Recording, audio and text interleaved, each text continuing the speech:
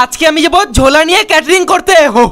তাই সকাল সকাল সবাই মিলে সাইকেল নিয়ে বেরিয়ে পড়লাম আর যেতে যেতে বড্ড খিদে পাচ্ছিল তাই মিয়মোড়ো থেকে একটা মিনি বার্গার কিনে খেয়ে নিলাম এরপর খাওয়া দাওয়াটা কমপ্লিট করে চলে আসলাম ক্যাটারিং লজের সামনে আর উপরে উঠে দেখি চেয়ার টেবিল পাতানোর কাজ তো প্রায় অর্ধেক কমপ্লিটই হয়ে গেছে আর এই মালটাকে দেখো ভিডিও করছি বলে বলছে আজকে আমাকে ছেড়ে দে ভাই এদিকে ইনি তো গার্লফ্রেন্ডের শখে মন মেজাজ খারাপ করেই বসে আছে আর আমি আস্তে আস্তে টেবিল কভার গুলো করছিলাম চেয়ার টেবিল পাতানোর কাজটা কমপ্লিট করে আমি একটু টিকটক স্টাইলের ড্রেসটা চেঞ্জ করে নিলাম তারপর আস্তে আস্তে লোকজন খেতে বসে গেল আর আমিও আমার ক্যাটারিং এর কাজটা শুরু করে দিলাম আর স্টোরে এসে চাটনিটা থেকে আমার তো পুরো জিভে জল চলে আসছিল তাই আমিও আর এদিক ওদিক না তাকিয়ে চাটনিটাই পরিবেশন করছিলাম তারপরে ভাই প্রচন্ড কষ্ট হয়ে গিয়েছিল তাই আমি একটু উপরে চলে এসেছিলাম আইসক্রিম খেতে আইসক্রিম খেয়ে নিচে গিয়ে চেয়ার টেবিলের কভার গুলো তুলে আমিও খেতে বসে পড়লাম ভাই দেবে আমি এখন ডাল ভাত খাই আর তোমরা এরকমই মিনি ব্লগ দেখার জন্য চ্যানেলটাকে সাবস্ক্রাইব করো বাই